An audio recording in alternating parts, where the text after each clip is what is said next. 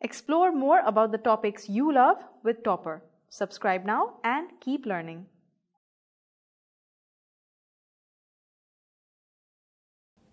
Crop production improvement involves three major points. In this lesson, we are going to talk about the second one, which is irrigation. So, irrigation in India is majorly dependent upon monsoon. It means that the success of crops depends upon sufficient rainfall.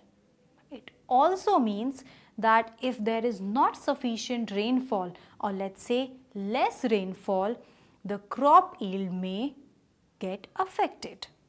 But if we ensure to bring sufficient amount of water at the growing seasons at the right stage of a plant, then we can increase the crop yields.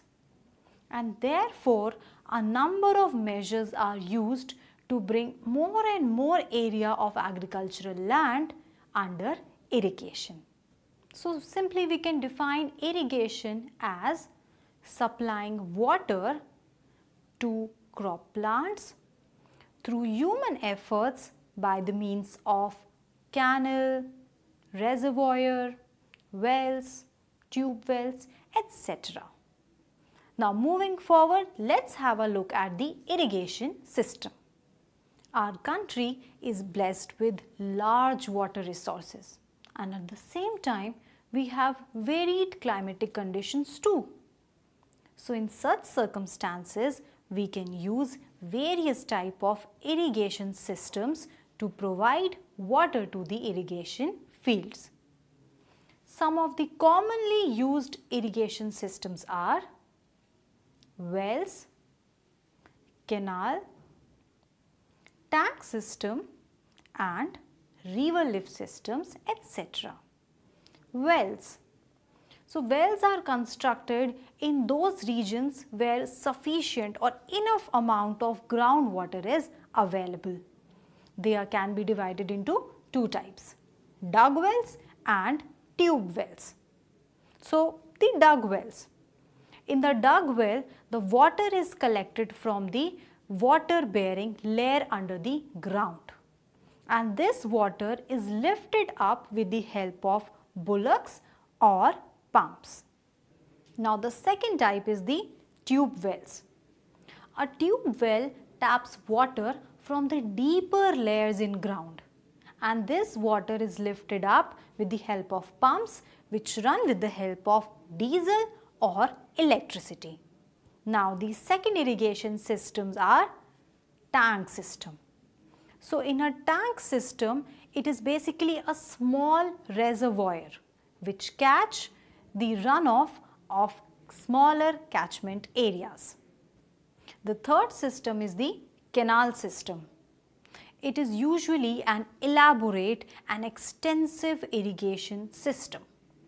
In this system, the canal receives water from the reservoirs or from the rivers. So, the main canal, it is divided into branch canals, which are further divided into distributaries which irrigate the fields. Now, the third type of irrigation system is the river lift system.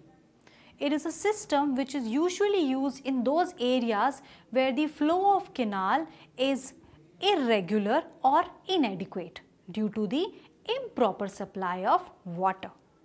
So, in such type of system, the water is drawn directly from the rivers for supplementing irrigation.